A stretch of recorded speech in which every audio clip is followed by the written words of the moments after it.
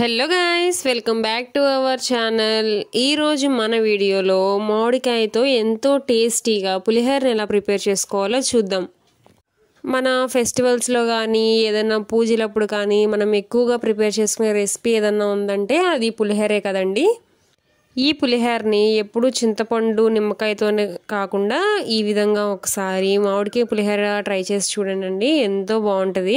అలాగే మనకి మామిడికాయ సీజన్ అనేది వచ్చేసింది కదండి. మనకి విచ్చలవిడిగా మామిడికాయలు అనేవి దొరుకుతూ ఉంటాయి. ఎప్పుడైనా సరే ఒక పుల్లటి మామిడికాయ దొరికినప్పుడు ఖచ్చితంగా ఈ మామిడికాయ పులిహోరని అయితే ట్రై చేయండి ఇంకా ఆలస్యం చేయకుండా ఈ మామిడికాయ పులిహోరని ఎలా ప్రిపేర్ చేసుకోవాలో చూసేద్దాం పదండి. ముందుగా ఈ మామిడికాయ పులిహోరని ప్రిపేర్ చేసుకోవడం కోసం ఒక గ్లాస్ బియ్యం తీసుకుని వాటిని నీట్గా వాష్ చేసుకున్న తర్వాత ఇందులోకి ఒక టూ గ్లాసెస్ వాటర్ యాడ్ చేసుకోవాలి. ఒక గ్లాస్ బియ్యానికి రెండు గ్లాసులు వాటర్ యాడ్ చేస్తున్నానండి. నేను తీసుకున్న బియ్యాన్ని బట్టి. ఆ తర్వాత ఇందులోకి ఒక హాఫ్ టేబుల్ స్పూన్ సాల్ట్ అలాగే వన్ టేబుల్ స్పూన్ ఆయిల్ అనేది యాడ్ చేసుకుని దీని అంతటిని కూడా మంచిగా కుక్ చేసుకోవాలండి. మీకు కావాలంటే కుక్కర్లో కూడా వండుకోవచ్చు లేదంటే నార్మల్గా కూడా ఈ విధంగా వండుకోవచ్చు అండి రైస్ అనేది ఈ విధంగా మంచిగా ఉడికిపోయిన తర్వాత స్టవ్ ఆఫ్ చేసుకుని దీన్ని పక్కన పెట్టేసుకోవాలి. ఇప్పుడు స్టవ్ ఆన్ చేసుకుని ప్యాన్ పెట్టుకుని అందులోకి ఒక two tablespoon oil add చేసుకోవాలి. ఆయిల్ అనేది హీట్ అయిన తర్వాత ఇందులోకి ఒక త్రీ టేబుల్ స్పూన్స్ వేరుశెనగ గుళ్ళు అనేవి యాడ్ చేసుకుని వాటిని ఒకసారి ఫ్రై చేసుకోవాలి. ఆ తర్వాత ఇందులోకి వన్ టేబుల్ స్పూన్ సాయిపప్పు వన్ టేబుల్ స్పూన్ ఆవాలు. సన్నగా కట్ చేసుకున్న పచ్చిమిరపకాయలు ఒక మూడు రెండు ఎండుమిరపకాయలు. అలాగే వన్ టేబుల్ స్పూన్ జీలకర్ర యాడ్ చేసుకుని వీటిని అన్నిటిని కూడా ఒకసారి ఈ విధంగా ఫ్రై చేసుకోవాలి.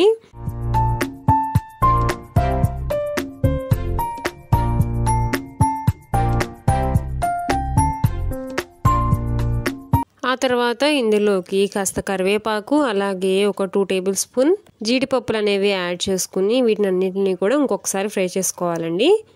జీడిపప్పులు అనేవి టోటల్గా ఆప్షనల్ అండి. మీకు కావాలంటే యాడ్ చేసుకోవచ్చు లేకపోతే లేదు. నేను టేస్ట్ కోసం ఒక టూ టేబుల్ స్పూన్స్ యాడ్ చేస్తున్నాను. ఇవన్నీ కూడా ఈ విధంగా మంచిగా ఫ్రై అయిపోయిన తర్వాత ఇందులోకి ఒక కప్పు తురుముకున్న మామిడికాయ తురుము అనేది యాడ్ చేసుకోవాలి. నేను ఒక గ్లాస్ బియ్యం తీసుకున్నాను కాబట్టి ఒక కప్పు మామిడికాయ తురుముని యాడ్ చేసుకుంటున్నాను. మీరు తీసుకున్న క్వాంటిటీని మీరు తీసుకున్న క్వాంటిటీని బట్టి మీరు ఈ తురుము అనేది యాడ్ చేసుకోండి. మామిడికాయ పులుపుని బట్టి కూడా ఈ తురుము అనేది అడ్జస్ట్ చేసుకోవచ్చు.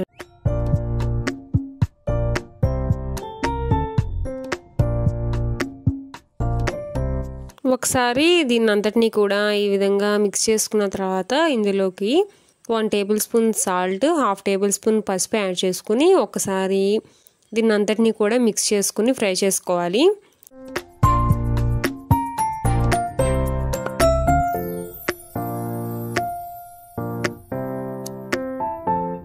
ఆ తర్వాత స్టవ్ ఆఫ్ చేసుకుని ఇందులోకి మనం ముందుగా ఉడికించి పెట్టుకున్న రైస్ ఉంది కదా దాన్ని మొత్తం కూడా ఇందులోకి యాడ్ చేసుకుని దీని అంతటిని కూడా బాగా కలుపుకోవాలి.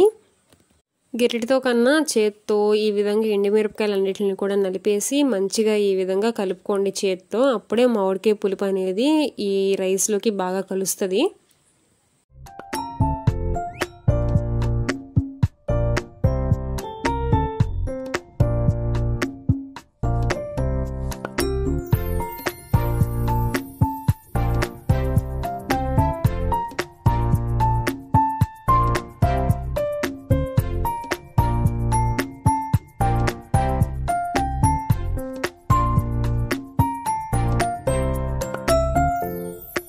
అదేవిధంగా ఇందులోకి కాస్త సన్నగా కట్ చేసుకున్న కొత్తిమీరని యాడ్ చేసుకుని మళ్ళొకసారి కలుపుకోండి ఈ విధంగా ఈ తాలింపుని మొత్తం కూడా రైస్కి ఈ విధంగా మంచిగా కలిపేసుకుంటే మనకి ఎంతో టేస్టీగా మామిడికి పులిహోర అయితే రెడీ అయిపోయిద్దండి.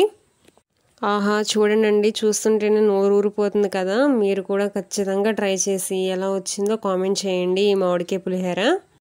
ఈ విధంగా ప్రిపేర్ చేసుకున్న మామిడికాయ పులిహోరని ఒక ఫిఫ్టీన్ మినిట్స్ పాటు ఈ విధంగా మూత పెట్టుకుని వదిలేసుకుంటే మనకి ఆ పులుపు అనేది రైస్లోకి బాగా పట్టి ఇంకా టేస్టీగా ఉంటుంది. ఒక ఫిఫ్టీన్ మినిట్స్ తర్వాత దీన్ని సర్వ్ చేసుకుని తింటుంటే టేస్ట్ ఉంటుందండి. ఆహా ఎంత బాగుంటుందో. ఈ మామిడికాయ పులిహోర తింటుంటే మధ్య మధ్యలో ఆ జీడిపప్పులు వేరుశెనగ గుళ్ళు పలుగులు తగులుతూ ఉంటూ పుల్ల పుల్లగా ఆహా ఎంత బాగుంటుందో అండి. ఈ రెసిపీ కనుక మీకు నచ్చినట్టయితే లైక్ చేయండి మీ ఫ్రెండ్స్ రిలేటివ్స్తో షేర్ చేసుకోండి. మన ఛానల్ని ఇంకా సబ్స్క్రైబ్ చేసుకోకపోతే సబ్స్క్రైబ్ చేసుకోండి. Thank you for watching.